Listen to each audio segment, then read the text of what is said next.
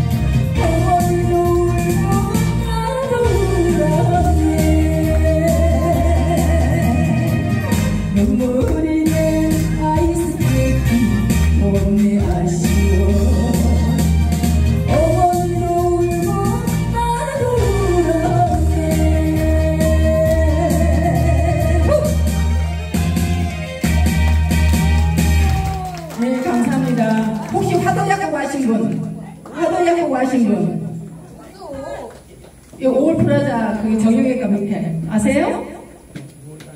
아, 예, 아, 잘, 아, 아시는 분도 계시고, 네. 저, 제가 CD를 음반을 내서 거기 약국에다가 CD를 좀 놔뒀거든요. 근데 많은 분들이 가져가셨어요. 근데 여기 계신 분들은 안 가져가셨나 봐. 모르는 거 보니까. 네. 자, 그러면 저 이어서 네, 웃으며 삽시다. 또 한 곡 더 보내드리겠습니다. 네, 네. 수원생입니다. 웃으며 삽시다. 네.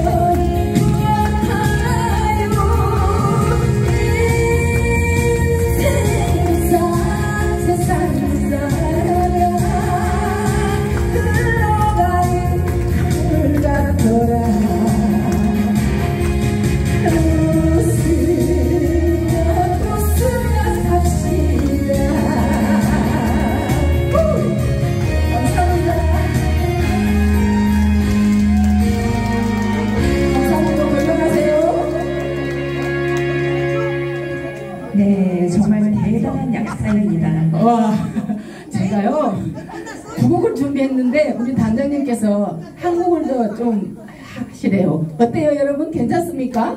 한곡더 할까요? 아, 감사합니다 그러면 한곡더 불러드리겠습니다 단심이 저는 주현민 씨 이후로 이렇게 노래를 잘하는 약사는 처음 봤어요. 네, 가수로서도 손색이 없어요. 어떻게 이렇게 제가- 잘하시죠? 제가 가수죠. 제 노래 음반이 일곱 곡 있어요. 제가. 가수인데 네네네. 또 네. 약사라니 참 놀랍습니다. 저작권 협회에 일곱 곡이 제가 등록되어 있거든요. 강덕인 가수 치면 다 나오고 인터넷 쳐도 나오고. 근데 약국을 홍보하러 오신 게 아니라 약국 안에 CD를 홍보하러 오신 거네요. 그죠? 저는 CD 무료로 드렸어요. 그냥 다. 네, 감사합니다. 네, 저도 자, 받아보도록 하겠습니다. 네네네. 단... 사, 후!